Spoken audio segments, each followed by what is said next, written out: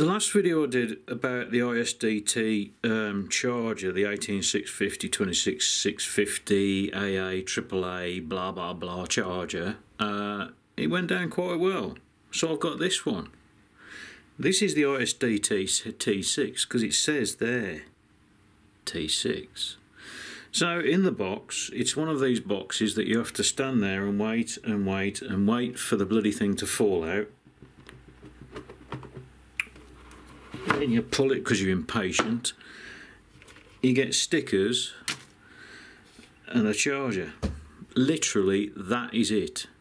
Stickers and a charger. I'm going to turn that light off because it reflects. Hopefully you can't see me because I'm naked.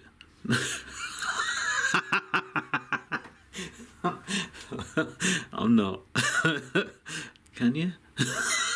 I've got to put it in the container because otherwise I get reflections off all the lights and everything else I've got in here. Turn that on. No, I turn that off.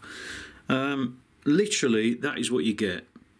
Now, on the side of it, you've got that's the input, which is 8 to 32 volts. You've got a USB output. That one there is for a monitor of some kind. Don't know. I might have to look on the instructions. Here's the instructions in Chinese. In English, number two, USB port, update port. Ah, that's the update port. Don't know how. I ain't bothered anyway. So we've got that and we've got the output there and also the balance connector which is quite interesting because it's keyed. So it'll take, you can just plug your battery directly into it.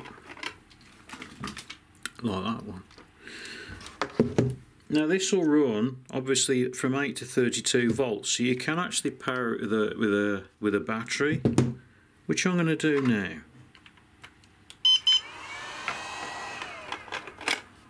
So there you go. Now unfortunately that's the battery I want to charge so I can't do that. Bollocks. This is a charger. This is a 30 amp 12 volt charger and it costs 17 pounds from the UK believe it or not. Um, so I've got mains going in there and I've got these two here for outputs. So what I'm going to do is plug that in. So that's plugged in. I'll put that out of shot and then I'll plug this in.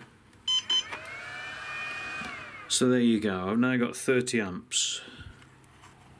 Zoom. Something's burning.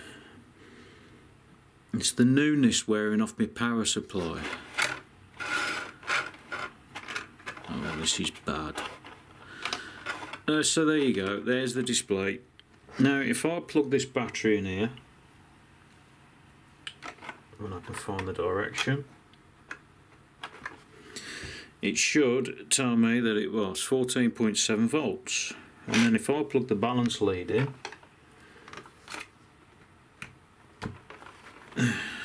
there's the cell voltage. There's many different types of chemistry, the same as there are other ones. So you can do PB, you can do well, lead acid, you can do LiPo, LiHV, nickel metal hydride, cadmium and everything else. So, cell voltage, you can change the the maximum voltage so if you want to undercharge it to preserve the battery life and cycles and everything else you can change that Oh no, hang on. Oh, that's lithium ion, sorry. So LiPo, 4.2 volts, 4S, it should automatically detect it anyway. Current, obviously I don't want to run that at 10 amps. I want to do that at 1.5 amps. Charge, discharge or storage. Sorry about that, my SD card's broken had to get another one. So, when you've set all your settings, it remembers it for the next time that you boot it up. Start. Simple as that. And this fan's making a noise now. That's the noise off the power supply. Loads of stats. There you go.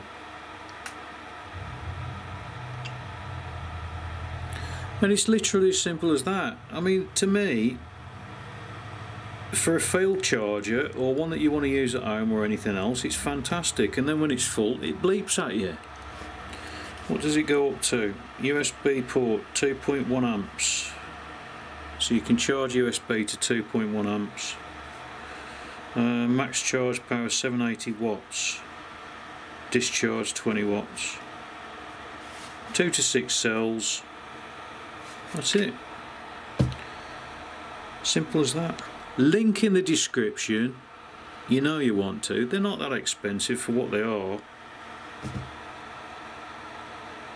I'm shit at reviews, really, you know. This is a box, and in it I keep special things, like my virginity, bollocks, arse. Shall I write this down and I can read it all out afterwards because it might come out a bit better.